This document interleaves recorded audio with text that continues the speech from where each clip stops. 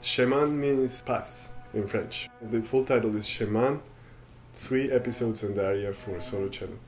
I've always felt that uh, composing is not something I choose to do, but something that happens, or in fact something that uh, has to happen, it, like dreaming. Composing for me has been like that. It's not. Um, it's not that I choose to. It just uh, otherwise I could simply not not sleep. Uh, so yeah, I, I, there are nights where I just am thinking of this piece, and the piece is trying to come out. And the cello is an instrument that I always respected because uh, you know you have to to really make use of that wonderful instrument.